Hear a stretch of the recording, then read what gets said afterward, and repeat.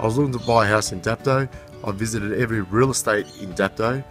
I ran into Ben James at Harcourts Dapto and I thought he was the one to do the job for me. By saying that, I thought there are three things that are, are, are most important to me is marketing, negotiation, and communication.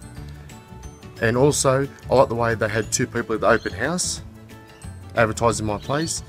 So, it, so in the near future, if you want to sell your place, thumbs up to Ben James. Give him a go. You've got nothing to lose.